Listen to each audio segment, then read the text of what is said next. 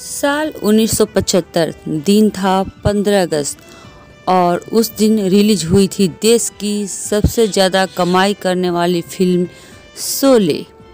15 अगस्त 1975 को यह film release हुई और धमाकेदार कमाई की, क्योंकि देश के डाकुओं से त्रस्त गाँव की आज़ादी की लड़ाई लड़ी थी। जय और बीरू ने, यानी कि अमिताभ बच्चन और धर्मेंद्र की जोड़ी ने आज इस फ़िल्म के 48 साल हो चुके हैं। इसका फिल्मांकन भी अच्छा था। फ़िल्म काफ़ी कमाई की थी और सबसे ज़्यादा थिएटर में चलने का रिकॉर्ड भी इस फ़िल्म ने बनाया था। तो दोस्तों, आज की कहानी शोले के नाम। शोले फ़िल्म कहाँ बनी, किस तरह बनी, इसके जो नायक थे या हीरो हीरोइन थे, वे किस तरह चुने गए थे और यह किस तरह तैयार की गई थी, आज इसकी पूरी जानकारी हम इस वीडियो में डाल रहे हैं। तो दोस्तों, बने रहिए पूरे वीडियो पर। आशा है इसे आप ज़रूर पसंद करेंगे और ज़्यादा से ज़्यादा लाइक, शेयर और सब्सक्राइब भी करेंगे। तो दोस्तों, चलिए जानते हैं शोले की कहानी। इसका डायरेक्शन रमेश सिपी ने किया था। यह फ़िल्म लोगों को इतनी पसंद आई कि इसे फ़िल्म की इंस्टीट्यूट के 2002 के सर्वश्रेष्ठ 10 भारतीय फ़िल्मों के एक सर्वेक्षण में प्रथम स्थान इसे प्राप्त हुआ था। और 2005 में पचासवें फ़िल्म फेयर पुरस्कार समारोह में इसे 50 सालों की सर्वश्रेष्ठ फ़िल्म का पुरस्कार भी मिला था। इस फ़िल्म के लेखक पटकथा सलीम जावेद थे। उन्होंने इस फ़िल्म की कहानी एक महीने में लगभग तैयार की थी। इसके छायाकार, द्वारका द्विवेचा थे, संपादक एस एस सिंधे संगीतकार राहुल देव वर्मन थे। इस फ़िल्म के निर्देशन रमेश सिपी ने किया था और कलाकार तो आप जानते ही हैं, धर्मेंद्र, संजीव कुमार, हेमा मालिनी, अमिताभ बच्चन, जया बच्चन, अमजद खान मुख्य भूमिका में थे और बाकी इसमें खलनायक भी थे।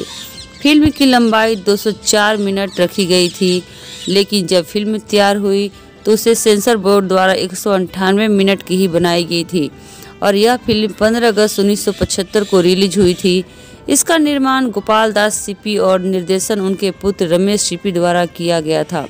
कहानी संक्षेप में अगर कहा जाए तो जय और बीरू दो अपराधी हैं, यानी चोर हैं, जो जेल में बंद होते हैं और वे दोनों बहुत ही बहादुर भी होते हैं। इनकी बहादुरी से प्रसन्न होकर पूर्व पुलिस अधिकारी ठाकुर बलदेव सिंह, यानी कि संजीव कुमार ने इन्हें अपने गाँव ले आने का ऑफ़र देते हैं, जहाँ डाकू गबर सिंह से बदला लेने के लिए इन्हें रखा जाता है। गाँव का नाम है रामगढ़, और पूरी कहानी में रामगढ़ और वहाँ के लोगों के ऊपर गबर सिंह डाकू की तानाशाही की कहानी है, जो लोगों को तंग करता है मारता पीटता है, उनसे कर वसूलता है। रामगढ़ गाँव में सेवानिवृत्त ठाकुर सिंह यानी संजीव कुमार दो चोरों यानी जय और बीरू को अपने साथ बुलाते हैं। वे इन्हें डाकू गब्बर सिंह को पकड़ने के लिए इनसे सहायता मांगते हैं। ऐसे भी गब्बर सिंह पर पचास हज़ार रुपये का इनाम होता है। बलदेव सिंह, जय और बीरू को बीस हज़ार रुपया एक्स्ट्रा देने के लिए कहते हैं और वादा करते हैं कि अगर तुमने डाकू गबर सिंह से रामगढ़ को आज़ाद किया तो मैं तुम्हें बीस हज़ार रुपये अलग से दूँगा। गबर के तीन साथी जब गाँव में अनाज लेने के लिए आते हैं तो जय वीरू उन पर हमला कर देते हैं और यह कहकर खाली हाथ भेज देते हैं कि अपने मालिक को ही भेज देना। गबर क्रोधित हो जाता है और तीनों डाकुओं को पूछने पर कि दो आदमी से तुम त्रस्त होकर क्यों आए? और कहानी इसमें कहा जाता है, कितने आदमी थे? तो दोस्तों इस तरह इसका डायलॉग बहुत फ़ेमस है और इसी डायलॉग के अंदर वह तीनों डाकुओं को मार देता है, होली का दिन होता है और गबर का हमला। हमले में जय और बीरू को पकड़ लिया जाता है। इसमें जय और बीरू ठाकुर से मदद भी मांगते हैं, लेकिन ठाकुर बलदेव सिंह की मदद न करने पर वे पकड़ लिए जाते हैं। लेकिन किसी तरह वे गबर सिंह के बंधन से छूटकर जब आज़ाद होकर रामगढ़ वापस लौटते हैं तो वे वापस अपने देश को जाने लगते हैं।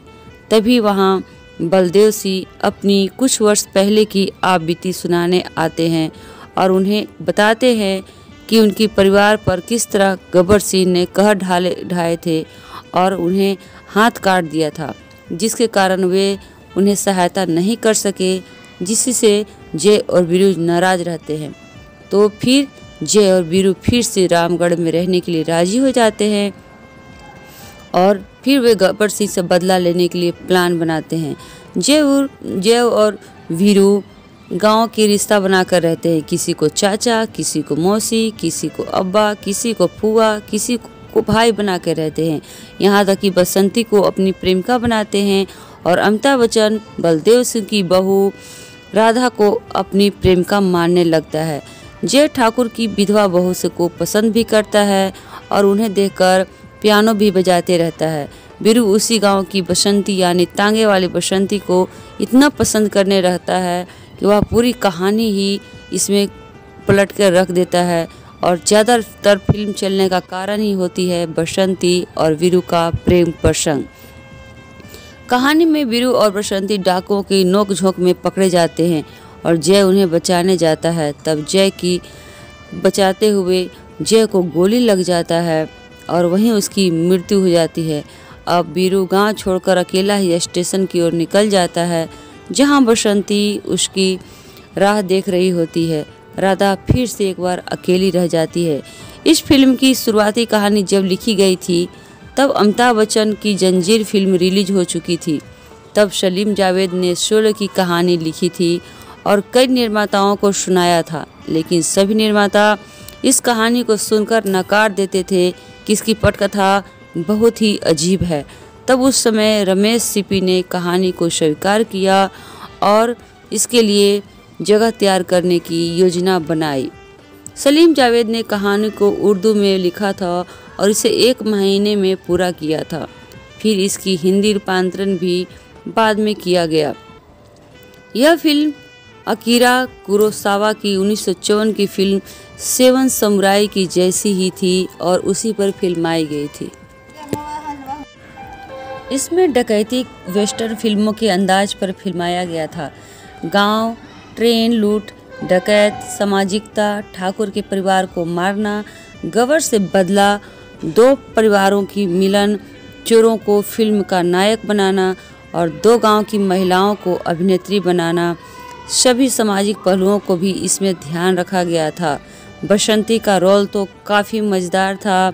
इसमें सबका कुछ न कुछ अलग अलग रोल था। कुछ कॉमेडियन कुछ हँसी, कुछ मज़ाक, कुछ रुलाई, सभी इसमें शामिल किए गए थे। सबका नाम भी चुन चुन कर रखा गया था।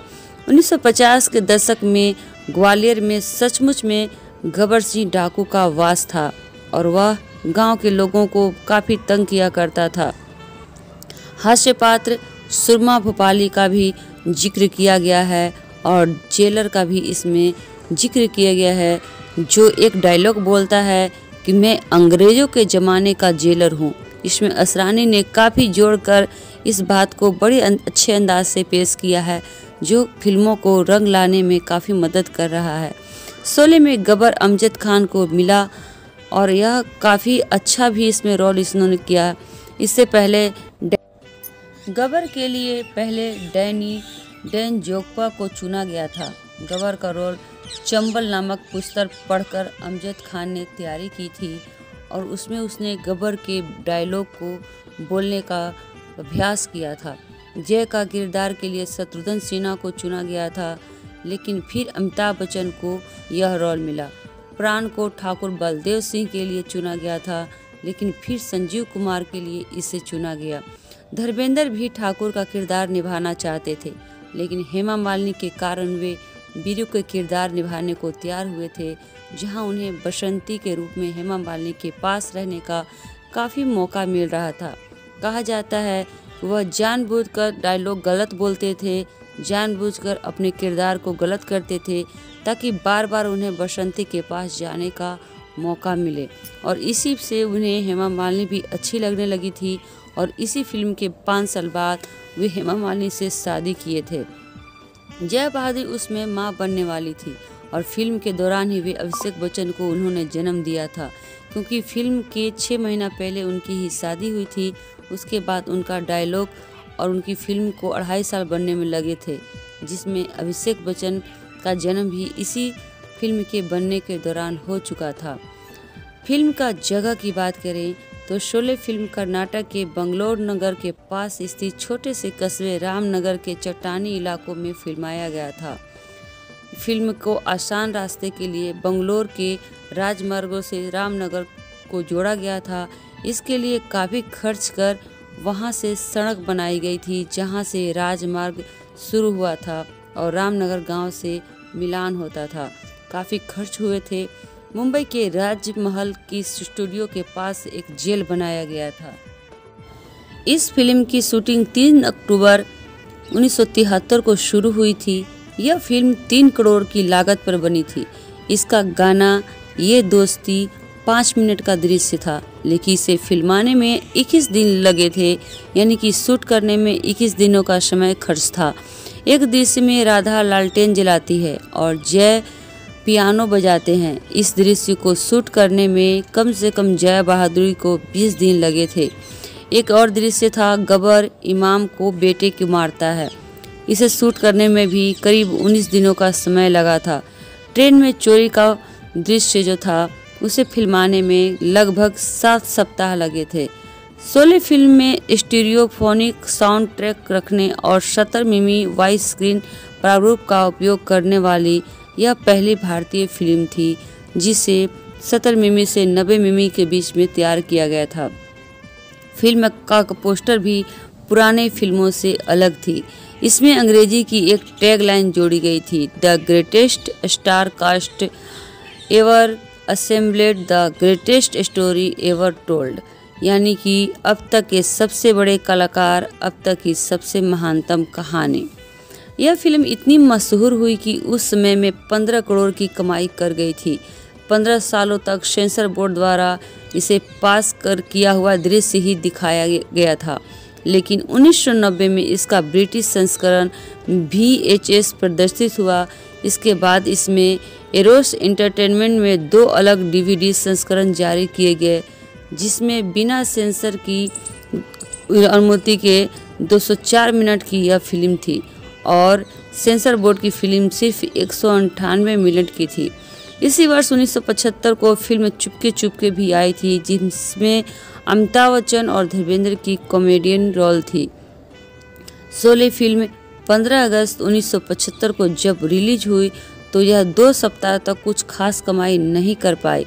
लेकिन जब बसंती के बोले हुए बोल, धर्मेंद्र के बोल तथा गवर की जुबानी वाली वाक्य फ़ेमस होने लगे तो यह फ़िल्म रातों रात सुपरहिट हो गई और इसके स्टार सुपर स्टार बन गए।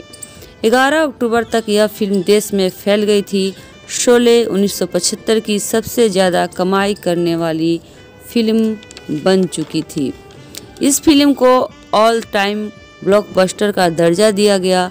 इस फ़िल्म ने 60 स्वर्ण जयंती यहाँ का प्रदर्शन कीर्तिमान बनाया है और सौ से भी ज़्यादा सिनेमा घरों में रजत जयंती मनाई है। मुंबई के मिनरवा सिनेमा में यह पाँच साल तक लगातार रही, जो एक एक फ़िल्म जगत का विश्व रिकॉर्ड है। दो सौ छियासी सप्ताह चलने वाली यह फ़िल्म का रिकॉर्ड जब टूटा, जब सलमान खान की एक फ़िल्म आई थी। 2012 तक शोले की कमाई लगभग 1.63 अरब रुपये आंके गए थे। शोले को नौ फ़िल्म फेयर पुरस्कार में नामांकित किया गया था, जिसमें सिंधे को सर्वश्रेष्ठ संपादन का पुरस्कार मिला था। अमजद खान को बंगाल फ़िल्म जर्नलिस्ट एसोसिएशन पुरस्कार मिला था। इसके कुछ समाज काफ़ी मशहूर हो गए थे, जैसे गबर का समाज कितने आदमी थे, जो डर गया, समझो मर गया। बहुत याराना लगता है। बसंती के बोल, बीरू का मौसी वाला डायलॉग जय और बीरू के बड़ाई वाली सीन सभी डायलॉग काफ़ी मशहूर हुए और आज तक की फ़िल्मों में भी बोले जाते हैं। तो दोस्तों कैसी लगी सोले फ़िल्म की कहानी? निर्माण और एक्टर की जानकारी कमेंट करके ज़रूर बताएँ क्योंकि फ़िल्म तो सोले थी लेकिन देखने वाले आज भी हम नए ढंग से देखते हैं क्योंकि फ़िल्म काफ़ी मज़ेदार का, काफ़ी रौनकदार और काफ़ी कास्टिंग अच्छी इसकी बताई जाती है। जो हम बच्चे भी देखते हैं, जब हम लोगों का जन्म भी नहीं हुआ था, तब से लेकर फ़िल्म आज जादू ही बिखेर रही है। तो चैनल पर बने रहें, वीडियो को ज़रूर देखें, लाइक, सब्सक्राइब और शेयर ज़रूर करें। दोस्तों, आज का वीडियो इतना ही। वीडियो काफ़ी लंबी हो गई है तो बने रहे वीडियो पर। देखने वाले सभी भाई बंधुओं को धन्यवाद।